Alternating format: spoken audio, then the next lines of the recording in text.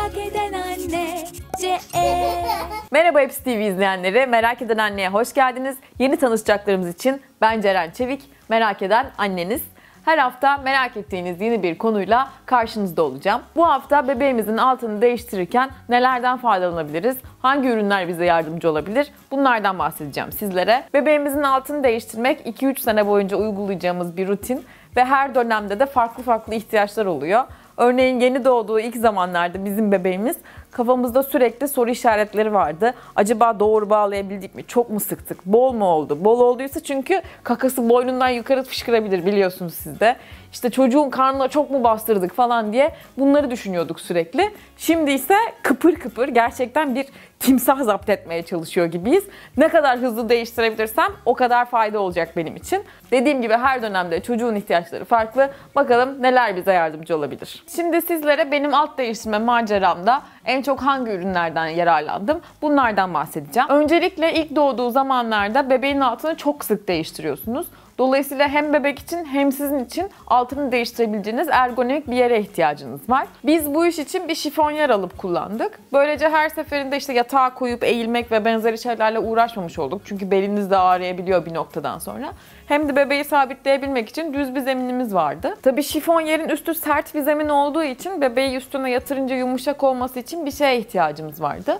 Ve şu tarz bir alt değiştirme minderi aldık.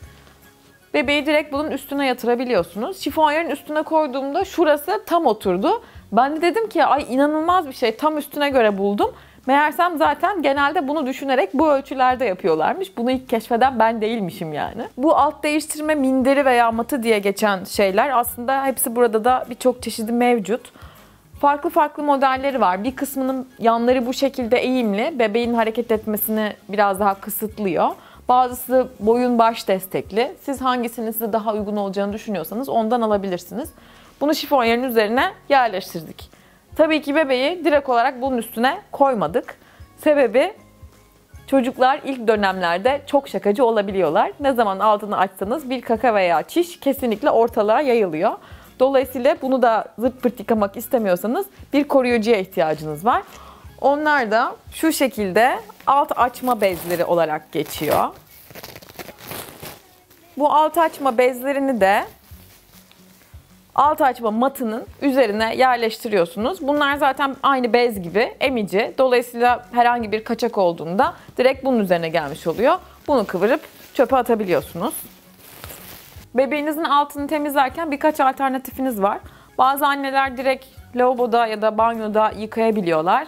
Bazısı şu şekilde bir pamuk alıp bir tasın içine su koyup direkt pamuk ve suyla temizleyebiliyor. Bazısı da hazır bebekler için ıslak mendiller var. Bunlardan alıp kullanabiliyorsunuz. Ben açıkçası pamuk ve suyu tercih ediyorum günlük hayatımda. Ama bazen çok hızlı hareket etmem gerekirken veya dışarıdaysam e, özellikle şu ıslak mendilleri kullanıyorum. En sevdiğim Water Wipes. Bunu da hepsi burada da bulabilirsiniz. Linkleri de aşağıya bırakacağım zaten. Yine alt değiştirme matının da linkini aşağıda bıraktım. Bez olarak da birçok alternatifiniz var. Ben Prima Premium Care kullanıyorum ama diğer bezlerden de çok memnun olan anneler duydum. Yine çocuğunuzun durumuna göre deneyip kullanabilirsiniz. Son dönemde dediğim gibi Asuma'ya aşırı hareketli olduğu için ve zapt etmesi çok zor olduğu için böyle ışık hızında alt değiştirmem gerektiği için külot bez denemeye başladım. Onlardan da çok memnunum. Onları da tavsiye edebilirim eğer hareketli bir bebeğiniz varsa. Son olarak önereceğim şey ise aslında benim hayat kurtarıcım olan şu sepetler oldu. Bu sepetin içine ihtiyacım olan her şeyi koyuyorum. Bezler, pamuk, hatta şu an yok ama su kabı, alt değiştirme bezleri ve bunun dışında ıslak mendiller. Hepsini nereye gidersek altın çünkü her yerde değiştirebiliyoruz. Nereye gidersek yanımda taşıyorum. Hızlıca temizliyorum ve yerine geri koyuyorum. Bu benim hayatımı kurtaran şeylerden bir tanesi oldu alt değiştirme maceramda diyebilirim. Benim kızım Asuma'ya Nisan sonunda doğduğu için biz yazı kan, ter ve gözyaşı içinde geçirdik. Alt değiştirme sırasında sıklıkla altını yıkamak, kurulamak ve sonrasında da pişik kremi kullanmak durumundaydım. Ben Mustela'nın bu kremini kullandım. Sevme sebeplerimden bir tanesi de tamamen kokusuz olması. Gerçekten bizde çok işe yaradı. Tavsiye edebilirim sizlere de. Linkini aşağıda bırakıyorum. Bu hafta sizlere ben bebeğimin altını değiştirirken hangi ürünlerden faydalandım, hangi taktikler benim işime yaradı onlardan bahsettim. Ama en önemlisi benim için şu sepetti.